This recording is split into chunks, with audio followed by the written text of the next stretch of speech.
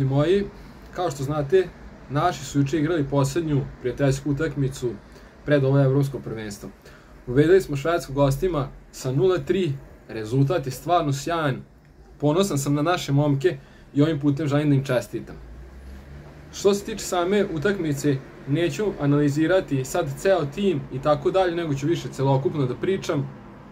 Pomenut ću par pojedinaca koji su mi najviše zapali za oko i reći ću kako sam ja vidio ovu utakmicu. Ajde odmah da krenemo. Što se tiče same utakmice, znači rezultat je bio 3-0 za nas. Opet, sada kada neko vidi na rezultatima ili video vestima, pobedili smo gostima Švedsku 3-0, reći će razvalili smo ih, ušli smo u formu pred Evropsko, nema greške, pokidat ćemo Engleze koji su izgubili 1-0 na Wembley od Islanda i tako dalje i tako dalje.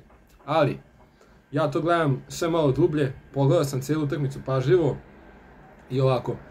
Što se tiče samih šuteva, Švedska imala, ako se ne varam, 21 šut, 20 ili 21, mi smo imali 6-7. Od toga Švedska imala 9 šuteva u okvir naše gola, mi smo imali 4 šuta u okvir njihovog. E sad, mi smo, ja ne pamtim, stvarno smo mi ikada imali ovako dobru realizaciju, da smo od 4 šuta na gol, tri puta uspeli da zastresamo mrežu i to je stvarno fantastičan podatak i to je ono što nas može ohrabriti za Evropsku. Znači, realizacija nam je bila perfektna. Stvarno ne pamtim da smo ikada imali toliko dobru realizaciju kao juče. Sa druge strane, ono što može da nas uplaši, Švedska je stvorila mnogo više prilika od nas. Znači, moramo realno gledati stvari. Imali su mnogo više šansi. E sad, dobra stvar je to što smo što je sama odbrana igrala solidno, sredina, što se tiče sredine, igrači su pravili pametne faulove, zaustavili neke akcije i tako dalje. Opet, mnogo toga je prošlo i moramo najviše se zahvalimo Predragu Bufonu Rajkoviću, koji je imao devet uspešnih intervencija i to se stvarno ne sjećam da je neki, neki naš golman dobio devet šuteva u gol i svih devet odbranio. Posebno bi izdvojio odbranu u drugom polovremenu pred kraj kada Isak šutno onu loptu ovako išla, znači Felš, ja ne znam ko bi on odbranio, Rajković vrhovima prstiju se baca i skida tu loptu. Po meni je Rajković zaslužio ocenu čistu desetku za jučerašnju utakmicu. Mislim da će imati slatke muke Pixi koga da stavi gol na evropskom. Ja sam baš stavio anketu na mom Instagramu da vidim šta vi mislite o ovoj utakmici. Mišljenja su stvarno podeljena.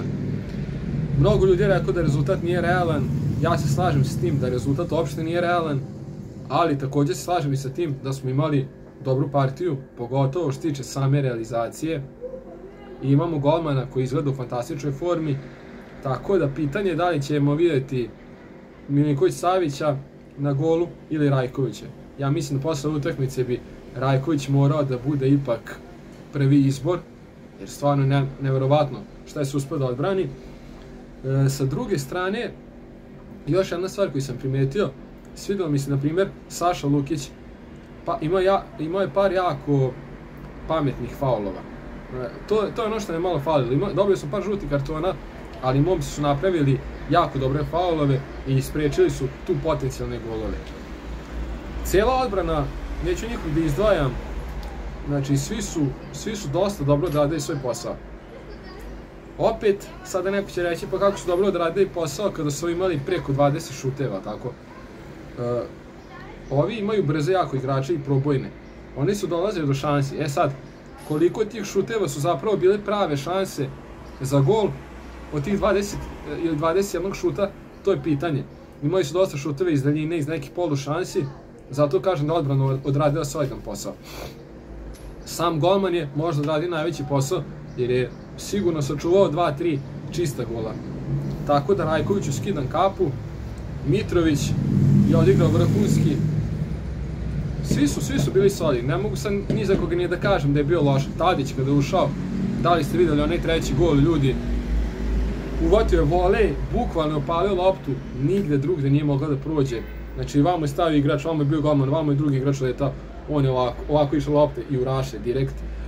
Tako da, ono što je najbitnije, i da smo bili loši, sve to nebitno. Bitna je pobjeda i bitno je da smo ih u gostima razvalili 3-0.